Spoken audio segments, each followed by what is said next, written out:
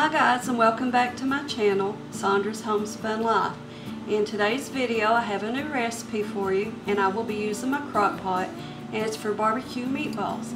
Now this can be served as an appetizer or you can add you a couple sides along the side of it and turn it into a full meal. So without wasting any more time let's go ahead and get started and I'll show you the ingredients that I'll be using. The ingredients I'll be using for this recipe are one large bag of frozen meatballs, a 14 ounce can of cranberry sauce, a 12 ounce bottle of cocktail sauce, 3 fourths cup of light brown sugar, 1 cup of water, and 1 cup of barbecue sauce. For my first step, I'm going to combine the ingredients to make our sauce that will go over top of our meatballs. Into my bowl, I'm going to add the barbecue sauce, I'm going to add my cranberry sauce, my bottle of cocktail sauce,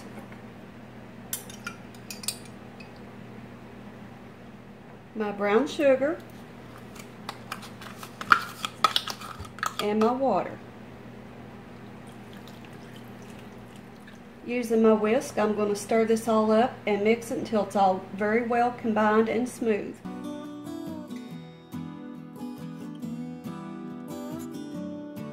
I have my sauce all stirred up and well blended, so I'm just going to set that to the side. For my next step, I'm going to get out my crock pot and place the meatballs into my crock pot. Now before I begin, I'm going to lightly spray the inside of my crock pot with some cooking spray.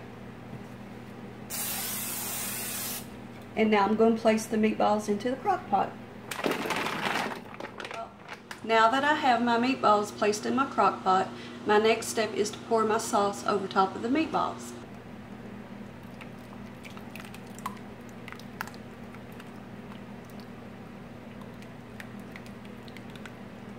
Now that I have my sauce poured over my meatballs, I'm going to simply place the lid on top of the crock pot.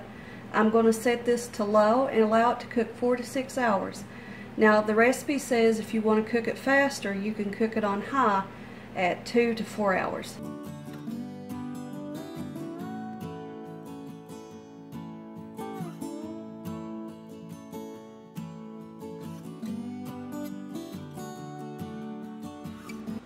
I let my crock pot go for about five hours. So now I'm going to remove one of the meatballs and give it a taste test.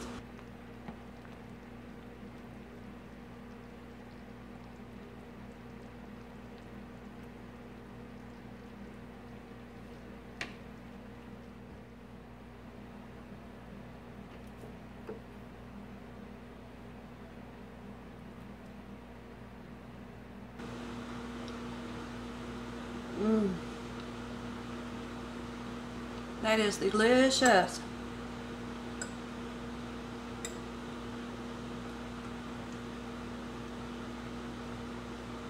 Absolutely delicious, you all.